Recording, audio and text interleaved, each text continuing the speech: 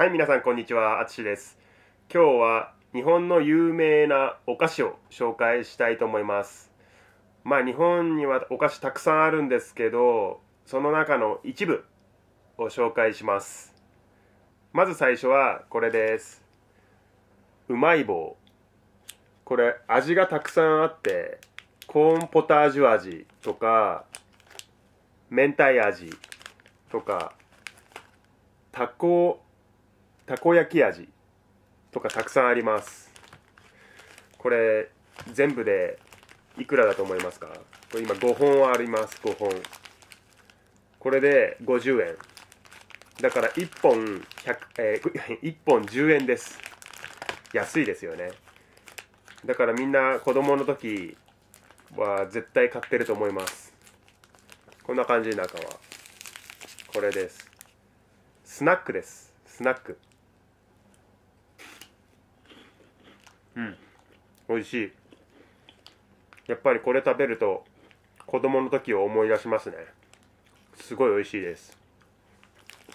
次はこれかば焼きさん。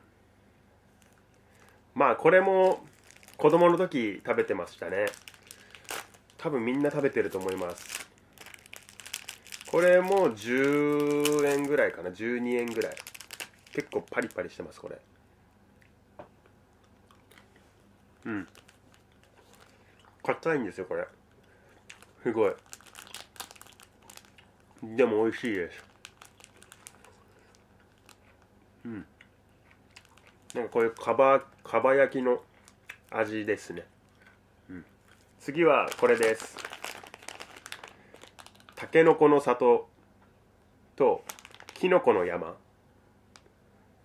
あこれは味は同じです。でもよくこうたけのこ派きのこ派って言ってあの買うの分かれます。私はたけのこ派ですね。たけのこが好きです。きのこはこういうふうにきのこのスナックとかチョコレートになってます。まあ分かれてますね。スナックとチョコレートが。うん。これ普通のチョコレート。でもこのたけのこの里っていうのはきのことスナックが、まあ、ミックスになってます。この中にスナックが入ってます。これが美味しいんですよ。サクサクしてて。これ大体こういう箱で売ってるんですけどまあこれ袋売りでしたね。袋だといくらだろう。100円。大体100円です。これで。安いですね。次はまたチョコレート。これ。コアラのマーチ。これは皆さんの国にもありますか？売ってますか？まあ日本だとまあどこにでも置いてありますね。コアラのマーチ。普通にコアラの絵が描いてある。見えるかな？こういう感じです。見えないか。中にチョコレートが入ってます。うん。やっぱり美味しいですね。懐かしいです。でこれコアラの絵が描いてあるんですけどまあ絵はほとんど違います。全部。だからこう絵を探して楽しんでましたね。子供の時は。うん。美味しいです。次はこれです。とんがりコーン。本当はこういうなんだろう。箱に入ってるんですけどこういう袋売りもありました。まあこれはこういう面白い形しててなんか子供でこうやって指にはめてこうやって食べてましたね。うん。これもやっぱりスナックで止まらないですね。手が。うんうん。美味しいです。こういうのは全部何かホームパーティーとかのお菓子によく置いてると思います。とんがりコーンです。ぜひ買ってみてください。最後はこれ。じゃがりこ。まあ、じゃがりこも味はいろいろあります。こんな感じです。でこれを噛むと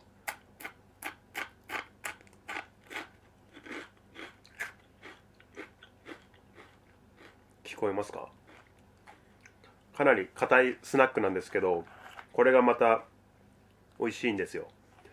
あんまりしょっぱくなくてすごいなんだろう健康的というかあんまり塩分がない印象ですね。うん。美味しいです。これももう昔からありますね。でこのじゃがりこは149円だから150円ですね。まあ安いんじゃないですか？150円で。かなりかなり量は入ってます。見えるかな？結構量入ってます。でこれ長いサイズもあります。ちょっと長いサイズもあるんでぜひ買ってみてください、うん、はいということで日本のお菓子を簡単に説明しました。皆さんもぜひ日本に来たら買ってみてください。まあそれか多分皆さんの国にもその日本のスーパーとかあってそこで多分売ってると思います。ぜひ皆さん試してみてください。それではまたさようなら。